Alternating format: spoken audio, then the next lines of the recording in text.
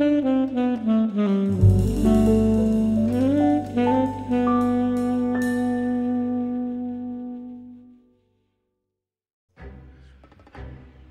to the final case of Let's Play L.A. Noire. This is a different kind of war, Niskel. Is it going to be like chemical warfare, or what are we talking about here? Oh, it's a different kind of war. The war from within. Because I'm thinking war. War never changes. Or war has changed, and we're just, you know, at the end of it. have worked one of these joints. Alright, so narrowed down the, the idea that the the arsonist is a bug sprayer. And there's three joints around here that, you know, t- particularly take care of pest controls. We're gonna go visit all of them. Okay. So, f- first one we'll go to here is uh, Rapid Exterminators. There we go. Just go up and go down the list. I am so glad we're Jack Kelso again. Actually, uh, we're going to be playing both Jack Kelso and Cole Phelps. This being the final case and all, we'll be swapping between protagonists for a little bit. I was wondering about that. That's a nice car you got there. Yeah, uh, yeah, this is a nice car. I'm going to take this car. Time to destroy it. Actually, I'm going to keep this car. Oh, really? Yep, I mean, it is a nice car. Because I freaking love this car. The handling is so goddamn nice. Oh, really? Oh, yes. So, so were we talking the the Rockstar attention to detail where every car handles differently? Well, I'm, I'm sure they do. I'm pretty sure that a bus doesn't handle the same way as this car does, you know? Right. The acceleration's different, you know? I mean, every game developer worth their salt would make cars that run differently. Wouldn't they? But that Especially would one- take too much development time. Especially one of this scope and scale. Even for all the things it doesn't have, it still has differently driving cars. Driving around being such a you know important part of gameplay. Hmm, rapid exterminators. I wonder if they use guns on the bugs. Speaking of guns, we're still shot in the arm. I noticed. Yeah, we're still bleeding from the arm, but we don't give no Who's shit. son? It could be official or unofficial. Depends on how you want to play it. You should get to a hospital, son. That arm of yours appears to be letting in daylight. Save the pity for the other guys. They're the ones who need it. I'm looking for a big cowboy. All who works right. pest. Yeah, it ain't nothing. I've, I've. I've had worse. It's just an arm. I I take grow 'em shots in the arm like this for breakfast. I'm not the type of guy you want coming back. Yeah, I'm sure. So looking for a big cowboy, but look what we have here. Another newspaper. Ooh, clean up the LAPD, huh? Uh huh. This Interesting. is- Peterson is the guy trying to be the DA. Yeah. And oh, poor Courtney. What have you got? Looks like a drug overdose. Get away from him, Phelps. This is my case. Boo! Yeah, that's the response everybody needs to hear. On the morphine This is a great moment for Victim of his own Phelps. product. Hey, detective! Can we back it off a notch? this is getting out of hand. Time to talk. No, this is brilliant. Now is the time to be quiet, son. Courtney Sheldon was a corpsman, Roy. He served his country. He went out with a medical kit and an Army 45 into places that made the Valley of Death look like a picnic. He was either naive enough or dumb enough to get involved in the Suburban Redevelopment Fund, along with the mayor, the DA, Monroe, and a certain crooked cop. He was involved in the morphine heist, but he has a puncture wound in his jugular, which makes this a murder case. Oh, and we got him on He's a better evidence. Man than you'll ever know. You say one more word about him, and I will blow your fucking head off. Yeah! I lost it, partner. I have a pretty good idea why Sheldon. That shit was long overdue, man. Oh my god, that felt great! long overdue. I got better things to do than argue the rub with you. He's clearly shaken, though. Yeah. Do you see that pit- face? He's pissing himself in his fucking ketchup and mustard stained pants. Oh, that was so good. Oh, Phelps, you're back in my good book, man. So I was worried that we missed a newspaper, but thankfully there are two in this case. Oh, okay. If we didn't be a good cop and instead of going to the correct bug sprayer and just come right here, we would have missed it. Because the true uh, correct answer is Westlake Pest Control. The guy we're looking for works at Westlake, but you know, might as well be thorough and go to Nuclear Bug anyway. Well, Besides, sure. yeah. Besides, you know, I, I thought we'd take this time to sort of reflect on what we've uh, experienced so far because this was a pretty long series. Yes, it was. I mean, not as long as Sonic Adventure 2, but I'll, I'll give it to you. No, not quite. Just not quite. But uh, we doing we've been doing this for almost every weekend now for you know good several months now. So uh, what did you what do you think about the game? I really like it. it's really good. Oh, that was a nice jump. Oh, I love the handling on this. I wouldn't be able to pull it off with any other shitty car. Uh, LA Noire is great. I wish I would have played it back when it was, you know, new. But it seems like LA Noire's kind of coming back, at least in the in the internet verse, where the X to doubt thing has become funny again. Yeah, it looks like we're kind of bringing that back. You know, again with the remaster version coming out, and everyone's always hungry for something gritty on Switch, right? Well, it's funny because the X to doubt doesn't even exist anymore on Switch. It's now truth or false. So it's uh, a, it, it, it's it's good cop, bad cop, and um, accuse. I think. Welcome to Nuclear. yeah. What can I do you for? Actually, I want to try this on need to speak Switch. I think that would be really interesting. with a Cowboy accent. We have only three people. Since now I have a wonderful Let's Play to follow. I kind of want to try this on VR as well. Thanks for your help. This was on VR. Yeah, What else was this ported to? I don't know how much of it is on VR, and I don't know really much more about it, but you know, it's it's it's a pretty good game. I wish that uh, you know there'd be a lot more uh, mystery detective games like this set in an open world. Yeah, we, we don't have enough detective-ing games. Like we get gritty open worlds or we get cowboys. That's pretty much Rockstar's mo right now. And with uh, you know Telltale shutting down and adventure games being up in the air again, there's going to be a market for that. So I think that again, if they were to make an LA Noire or a detective good cop bad cop based drama like this again, I think people would would definitely eat it up. You know, I'd be down for a point-and-click adventure game, but with Rockstar writers. I completely demolished that car with Yeah, one y- hit. it's gone. that car is completely gone, evaporated. But uh, yeah, apparently Red Dead 2 is doing good in the story department, so I wouldn't mind having those writers come up with like a point-and-click LA Noire sequel. I know it'll never happen, but it'll still be interesting. I like to think ever since like you know the first Red Dead Redemption, Rockstar has really upped their game when it comes to writing. I mean, even GTA 4 had or had pretty okay writing, but you know, then again, it had Roman in it, so. Hey, no dissing Roman. He's And my also- cousin. He's And, great. and also, there there's stupid nonsense, damned if you do, damned if you don't, ending from you know GTA 4. That, that was stupid. I didn't like it that. never sat well with me. Nah, I didn't like it. GTA 5, I think, has a lot better writing. Just because it's a lot more cathartic and a lot more fun. I work for the DA. I'm looking for a big cowboy does extermination. Anyone like that working here? Well, I wouldn't want to get anyone into any trouble. We could do this the hard way. An address? That stupid Yeah. smirk. He lives in a bunkhouse on the remains of the old Rancho Rincon. At first, I thought it was him, but it it isn't. Oh, we switching? Yep, we are now switching. So now, Oh. Col- so uh, Jack Kelso is going to go investigate the big old cowboy dude who is probably our greatest suspect in uh, setting all these fires. Mm-hmm. But uh, we're gonna do we're gonna go back to yesterday. We're gonna go to Doctor Fontaine's crime scene and Ah, poke around there.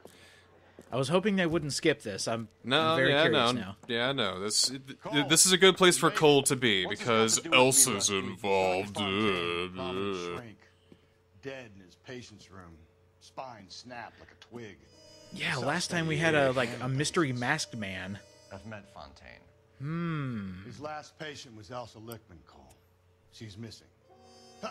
Nurse said that she saw some big Boris Karloff type carry her out of here. Aha! do to help me, Rusty, is let me take a look around. Sure thing, Cole. This way. Again, I just love that they s- just slip a uh, weird looking anachronism in there. It's like, and I saw him drive away. The driver looked like Tom Cruise, you know? Wait. This... Okay.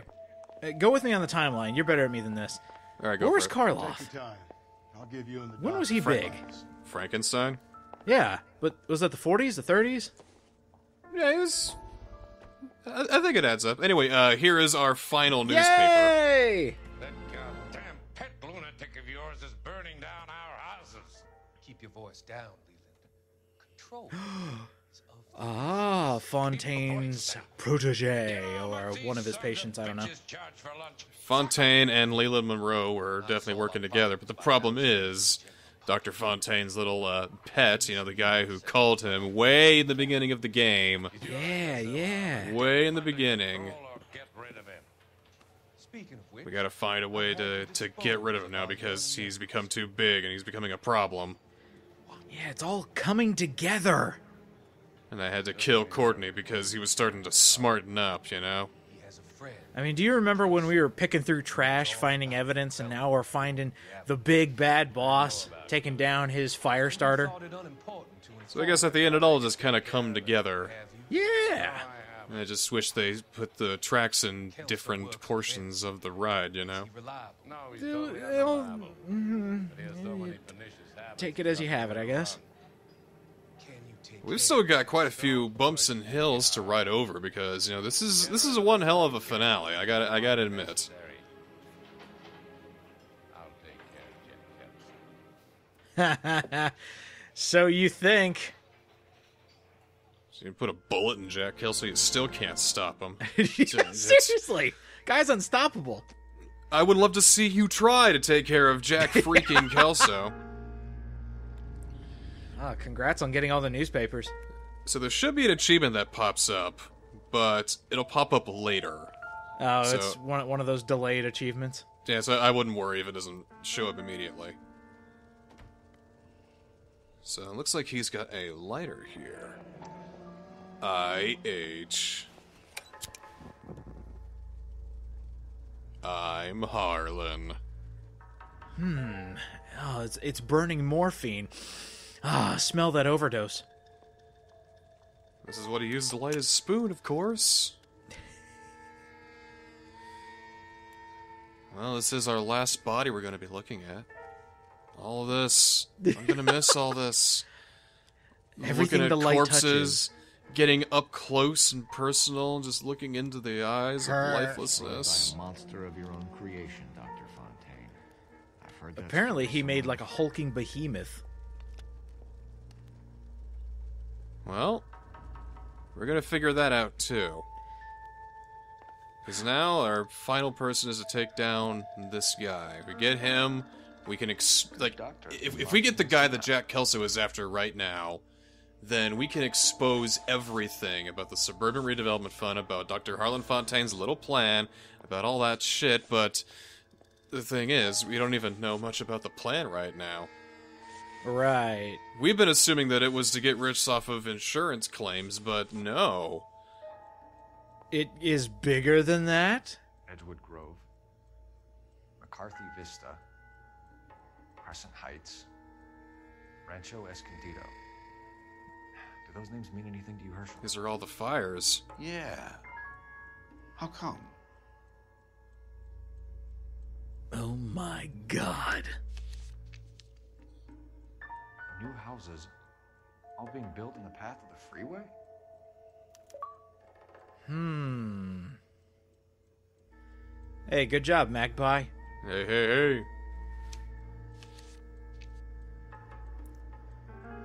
So they're gonna build a gigantic freaking freeway, and these houses were in the way. Oh. So they gave the houses to the little firebug, but now he's getting out of control, and uh, police are getting everywhere, and people are gonna get onto their little scheme, which they have. The police are here right now. It was all just to build roads. Build freeways. Nope. The bludgeoning weapon. Ah. So much for your foresight, Doctor. I can just see Cole takes a big old lick of it and goes, Tastes German. Look at that little spot of blood on the crystal ball, like a little rosebud. anyway, we got Leland, let's below the premise.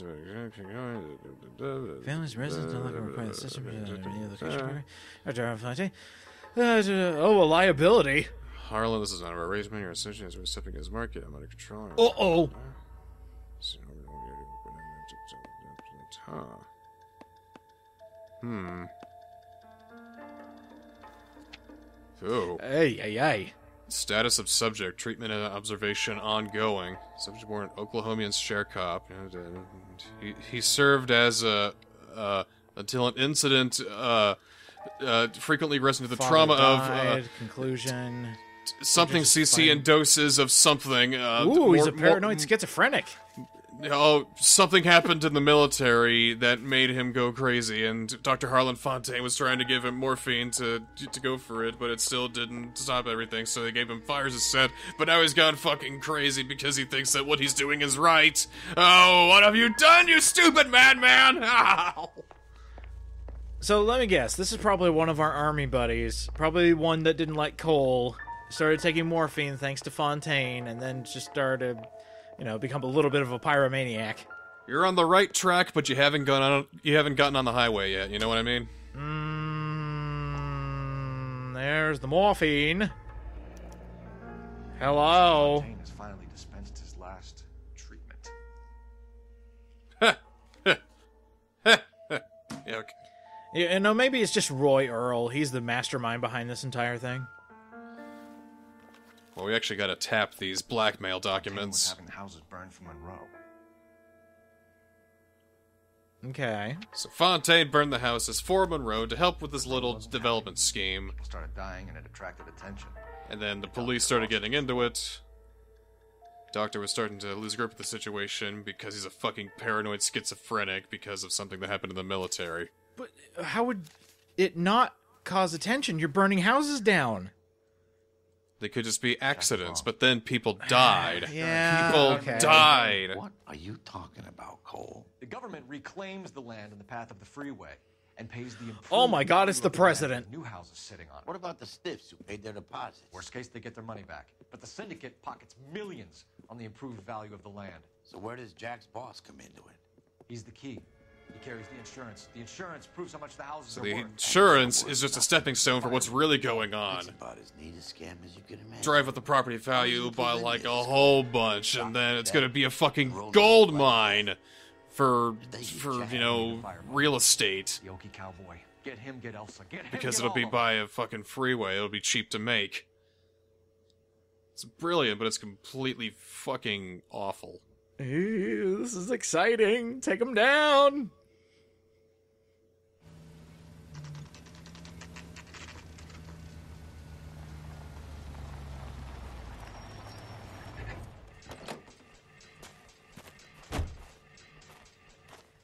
Oh my god, we caught up with Serial Killer X. Wait, I think I've already made that joke. Never mind. So we're gonna start things off as Jack, J- as uh, Jack Kelso here. This is now today after we've investigated the crime scene of Dr. Harlan Fontaine. But I swear we're at the Baker House right now, so I think we are definitely at the right place. But uh, you know, I, I'm, I'm I'm just gonna be uh, curious here. I'm just gonna get in my car and uh, see if I can just uh, ram the door down or something. Here we go. I wonder if I could drive away, but nah. I did. Well, I could have. I, I, I could have gone a little better. Oh well. I guess I'll just uh, politely knock, politely knock then. Guess nobody's home. See a guy come around the corner. Hello, Jackie boy. Nah, this place is. Uh, Well, this is a den. Whew. Oh, wow. Custom made flamethrower. A 45 or an M1. This is pretty extreme. oh, great. A flamethrower. Huh. Let's take a poke around, see what we can find. Oh, we just here. invaded the home of the Fury. Uh.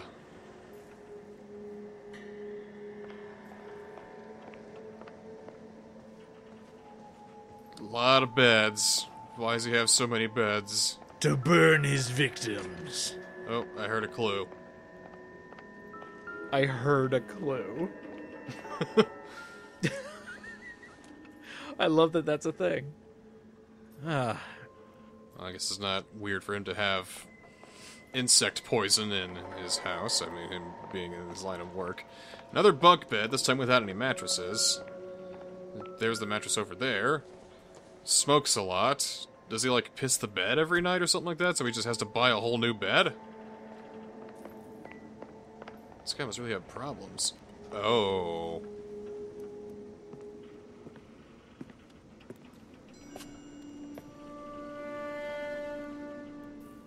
it's the origami killer.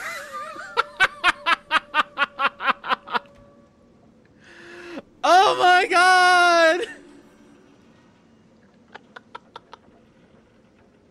I know what you're thinking, but no, but no. Quite a flock you got here, kid. Oh my god! The river tunnels. Well, This guy's a tunnel rat. Okay, so he's not here, probably because he's escaped into the LA River tunnels, because that's where he likes to hang out. But Strange obsession. he was definitely at Okinawa, that's for damn sure. He was definitely there. Yeah, I guess. Anything else here? uh, mosquito kills. So- that's how he set the eh, fires, of course. e- everything makes sense. Oh my god, that was funny. Oh, look, another one.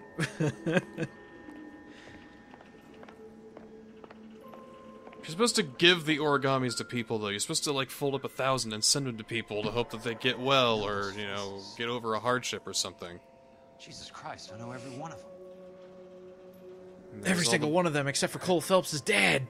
There's all the boys, so you were right. Our culprit is one of the men who we've been seeing in our military flashbacks. Oh my god, Ira. You poor backward son of a bitch. It was the guy with the flamethrower. Peterson, I'm going to need some help. I've got Monroe, Fontaine, and all the others. It's all tied up nicely. It goes all the way to the top. Meet me at the LA River Tunnel entrance just north of the First Street Bridge. Oh, he's gonna get jumped. Don't ask questions. Just be there. Uh, jumped. Now everyone knows where he's going. Ah, shit. And he's pretty much saying, hey, I'm going to expose everything. And a lot of people are going to lose their shoe into getting a lot of money, uh, unless if I get to this spot.